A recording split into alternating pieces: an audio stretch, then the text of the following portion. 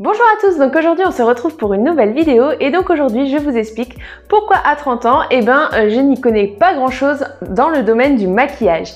Alors pour que vous puissiez euh, bah, comprendre un petit peu euh, les choses, il faut savoir que jusqu'il y a encore 3 ans de ça, j'étais une personne obèse et donc par rapport à mon obésité, j'ai créé énormément de complexes. ça remonte depuis mon enfance, hein, j'étais obèse depuis mon enfance et donc j'ai grandi avec l'obésité et ça m'a créé énormément de complexe euh, et donc bah, justement par rapport au maquillage, euh, je n'ai jamais vraiment euh, pris le temps de découvrir les produits, comment on fait, etc. C'est quelque chose que bah, je me suis un peu interdit en fait par, de par mes complexes. Alors attention, hein, là c'est vraiment quelque chose de personnel puisque il y a, y, a, plein de femmes qui sont obèses et, qui se maquillent super bien.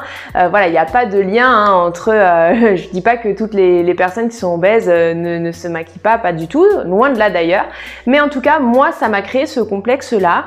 Euh, et, voilà, et du coup, j'ai jamais pris le temps de découvrir euh, le maquillage, prendre le temps de d'apprendre à me maquiller. Et du coup, euh, eh bien, aujourd'hui, j'ai 30 ans. Ça fait maintenant 3 ans que j'ai perdu du poids. Je redécouvre un petit peu mon visage différemment, mon corps aussi. Mais en tout cas, en ce qui concerne le visage, ça change vraiment beaucoup.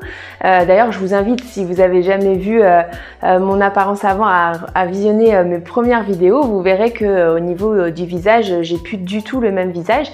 Et du coup, eh bien, euh, aujourd'hui, j'ai vraiment envie bah, d'apprendre aussi à, me maquiller, découvrir euh, les produits parce que parfois, euh, je me suis aventurée à regarder des vidéos make-up. Il y a plein de termes que je ne comprends pas, des produits que je ne sais pas à quoi ça sert.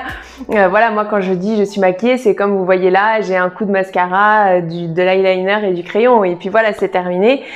Je trouve qu'une femme qui se maquille, bah, parfois, ça, fait de très beaux rendus et euh, bah, j'aimerais bien découvrir tout ça.